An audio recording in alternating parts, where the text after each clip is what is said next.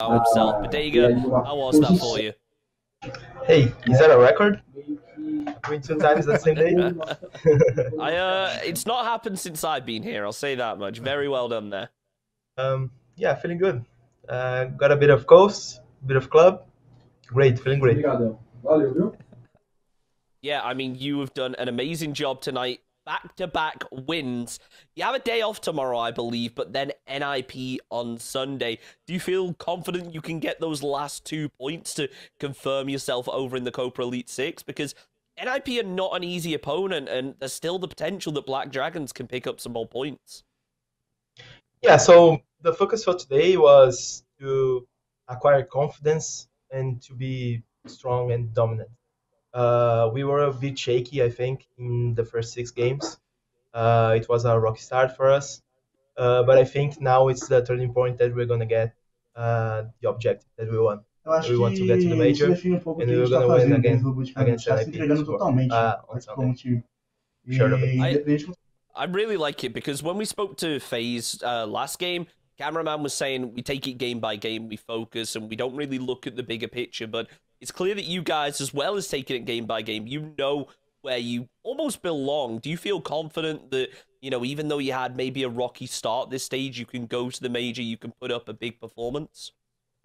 Yes.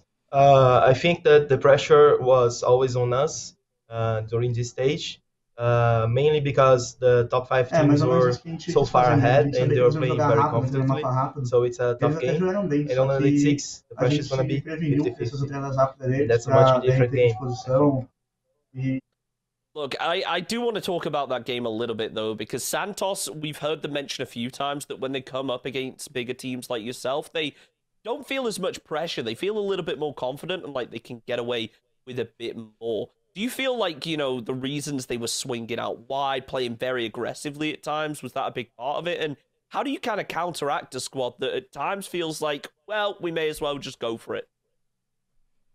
Um, uh, when playing uh, against teams like Santos, uh, on the attacks, they like to play very aggressive. They like to uh, play a similar style that we used to play when we were back in T1. Uh, we know very much this type of uh, play style, so it's basically a guessing game of the possibilities that they do uh, based on the information we have on the round. So it was basically a guessing game for us. Uh, we got uh, we read them by the book and we got the open kills that we needed. Well, very impressive to see you were able to stay two steps ahead. We're not going to see you tomorrow, but hopefully for your sake, be seeing you on Sunday when you can confirm that Copa Elite Six placement. Budega, thanks once again for joining us.